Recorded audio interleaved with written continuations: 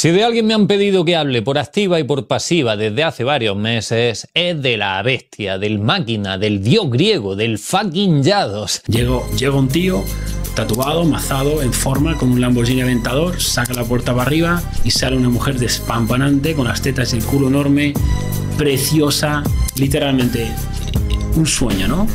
Y si he tardado tanto tiempo en hacerlo es sinceramente porque tuve una especie de sentimientos encontrados. Pero esto no va a ser un análisis como los que ya habréis visto por ahí, donde se trata de exponer que todo lo que muestra es mentira, que sus casas y sus coches son alquilados, si es millonario o no es millonario. ¿Acaso importa eso? Vamos a ahondar en una sencilla pregunta, que es, ¿qué puede aportar esta persona de positivo a la sociedad y sobre todo a los jóvenes? Y a partir de ahí vamos a responder a otro tipo de preguntas, que es lo que te puede enseñar esta persona. ¿Y tiene algún tipo de trastorno esta persona? Pues vamos a verlo, comencemos. No voy a decir que no supiera quién era Yados, porque más de una vez me ha saltado algún vídeo suyo, pero lo vi como uno más de los muchos que te salen ahí en las redes sociales. La primera vez que reparé en él fue a raíz de que me enviaron este carrusel de fotos con su correspondiente mensaje, pidiéndome, Carlos, da tu opinión sobre este tipo. Y ahí mi primera impresión pues fue la de muchos. Cuando vi esa foto mi pregunta directamente fue ¿hay algo que sea natural en esa foto? Porque todas las personas que aparecen en esas fotos están tuneadas. Es increíble cómo una sola foto puede reflejar todo lo que va mal en la sociedad.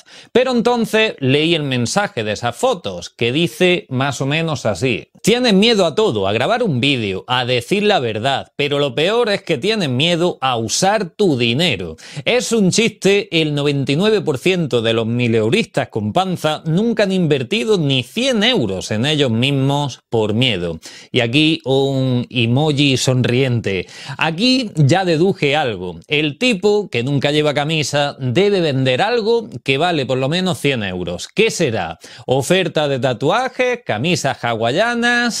Lo más gracioso es que estas mismas personas que nunca han invertido dinero en ellos mismos esperan generar dinero, esperan que otras personas inviertan en ellos. Es increíble cómo una persona tan hipócrita puede esperar recibir algo a cambio de nada. Fuck, tenéis tanto miedo que no vivís panda de fucking blandos. Yo tendría miedo a ser un fucking cagado, milurista, con panza, que no hace nada por remediar eso.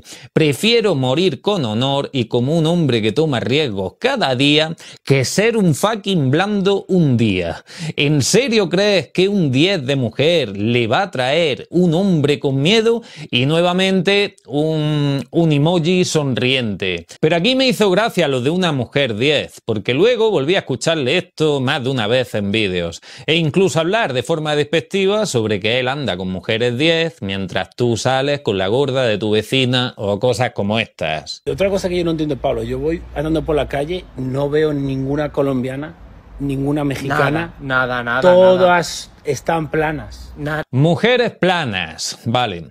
Planas pero naturales, dos Planas pero naturales. Y aquí va mi primer consejo para las chicas que vean este vídeo. Nunca te avergüences de no tener unos pechos grandes de plástico ni por no llevar votos en la cara y en los labios con veintipocos años. Si aún así no tomas este consejo, al menos evita meterte plástico en los glúteos. La mayoría de las clínicas de cirugía estética se niegan a hacer implantes de trasero porque saben que esos implantes se van a ir al traste y tu trasero va a terminar pareciendo el chasis de un coche abollado. Aquí ya viene mi primera discrepancia con el señor Yados y es en el significado de mujer 10. Esto va de gustos, evidentemente. En mi caso me gusta una mujer real y natural, que a ser posible no venga con un letrero de peligro altamente inflamable. Seguimos. A ver, campeón, escúchame, anda. Tienes miedo hasta de mirar a una diosa a la cara, te cae la gota de sudor y cuando le hablas parece que tienes un vibrador en la boca. ¿Te has preguntado por qué? Simple, eres un fucking blando sin confianza que nunca ha ganado en la vida, bla bla bla, bla bla bla. Los blandos miran y opinan porque es lo único que tienen, palabras, emoji sonriente. Ahora cuando se les pone un mujerón enfrente se quedan hasta sin palabras, emoji sonriente, fucking emoji sonriente. Vaya fucking chiste ayudo a escapar del sistema como coach online, hazte un ganador, etcétera, etcétera. Pues no, no vendía camisas hawaianas. Aquí, primera pregunta, ¿a quién va dirigida esa publicación? Evidentemente no va dirigida a un hombre que pase de los 30 años, sino a un fucking chiste que quiere convertirse en hombre.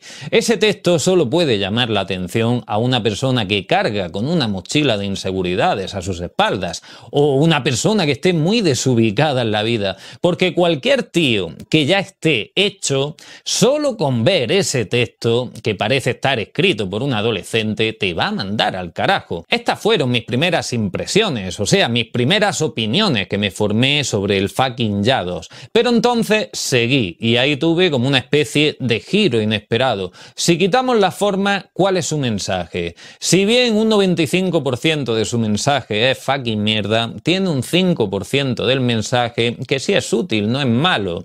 Te dice que te alejes de las drogas, que no pierdas tu tiempo bebiendo y saliendo de fiesta, que te esfuerces en tus metas y que hagas ejercicio, que te alejes de los vicios y te motiva a mejorar. Esa parte es muy positiva, al César lo que es del César. El problema es el maestro que te va a ayudar y el reclamo que te ha llamado la atención. ¿Por qué digo esto? Veámoslo. Yo soy una fucking bestia. Yo destrozo absolutamente todo. Te miro a los ojos y te fucking aniquilo. Y tú lo sabes. Y sientes ese miedo. Y te sientes inferior a mí. Mira, mira cuántos compiten contra mí. No tengo competencia, papanatas. ¿Entiendes? No tengo competencia. Llevo toda mi vida preparándome y no hay absolutamente nadie que se pueda acercar.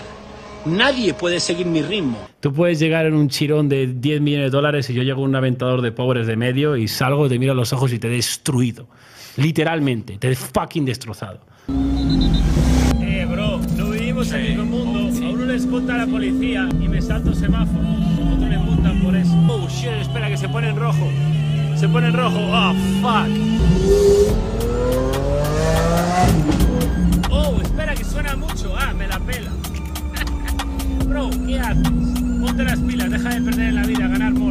Evidentemente estamos ante un narcisismo patológico no diagnosticado y este trastorno fue el que acabó con Carlos Muñoz. Como ya dije en el vídeo que hice sobre el máster Muñoz, el tipo a la hora de hablar de negocio sabía de lo que hablaba, pero las formas y ese narcisismo acabó pasándole una factura bastante grande.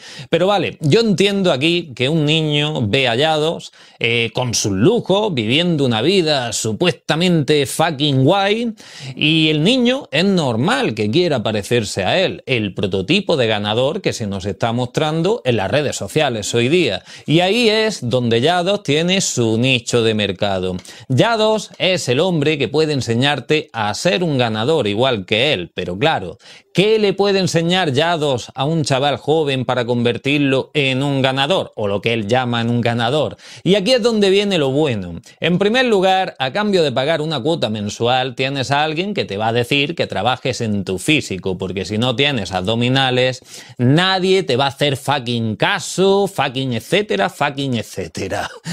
Eh, y segundo, te va a ayudar a convertirte en un vendehumos. Y esto lo reflejó perfectamente el canal Pico de Oro, el cual sacó a la luz lo que habían hecho los alumnos de Yados. Os recomiendo ese vídeo. Básicamente, en ese vídeo se muestra el cambio de varios fucking perdedores, que tras algunos meses en la academia de Yados ya se encontraban vendiéndote el secreto para ser un fucking ganador. Todos tenían más o menos el mismo discurso, venían de ser fucking perdedores y ahora eran fucking ganadores. Por lo que te vendían sus fucking asesorías. El más llamativo, o por lo menos a mí el que más me llamó la atención, fue el de un chaval de 16 años, que tras muchos años perdidos con el tema de las drogas, el alcohol y todo eso, ahora te iba a ayudar a mejorar tu vida. Iba a ser tu coach. Con 16 años iba a ser tu coach de vida. Había otro que con 20 años y una vida llena de excesos, tras pasar por la Academia de Yado, ya decía tener varios negocios de éxito y por lo tanto, pagándole también te ayudaría a convertirte en un ganador. ¿Qué aprenden estos jóvenes? A hacer lo mismo que hizo el maestro. Si alguien se pregunta si Yados es millonario o no, creo que escuchando lo que nos dice este es alumno de Yados, nos queda más que claro. Cuando yo entro en el curso, ¿vale? Hay un grupo de Discord donde está toda la gente del curso. había un poco más de 800 personas, ¿vale? 800 y pico. Tú multiplicas a 100 euros, ¿vale? 100 euros por 800 personas que había, son 80.000 euros al mes. Más ponle tú que saque 30.000 euros del curso VIP, el de 3.000 pavos, que también hay gente que se los paga, ¿eh? Efectivamente, solo con eso ya tienen más de 80.000 euros al mes. ¿Cómo dejar de ser un papanata? Sencillo. Busca la manera de que muchos papanatas te paguen diciéndoles que así dejarán de ser papanatas y para ello deberán convencer a otros papanatas. El negocio es sencillo, es una especie de multinivel de fucking papanatas. Y otros tantos pagan una cuota de 50 euros para tener el lujo de vender las membresías del propio Yados y llevarse una comisión como afiliado. Esta es una buena parte del negocio que tiene Yados. ¿Cómo vas a hablar mal de los cursos de Yados si te están ofreciendo una comisión por cada curso que vendes?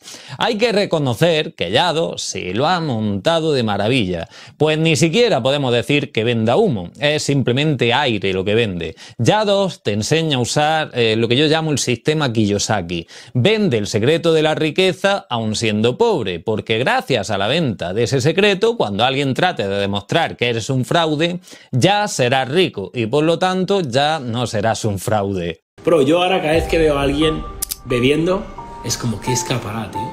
Es como, bro, ¿qué escapará? ¿Qué, qué estará escapando? Ya es como curiosidad, ¿De qué escapará la gente? Y esta es buena, porque eso me pregunto yo cuando veo a un tipo que es todo artificial, rodeado de personas artificiales y hablando en todo momento de cosas mm, materiales. Él vende salud y naturalidad, cuando hoy sabemos que el mismo Yado se jodió el sistema de su cuerpo al ciclarse, por lo que su cuerpo ya no puede generar testosterona de forma natural y está en TRT. Vende el éxito, pero luego se le escapan cosas como esta. Yo no voy a fallar ni un día. La gente que quiere automatizar se jode la vida. Cuando automaticé mi negocio y puse un equipo y salí del negocio, que gané tiempo.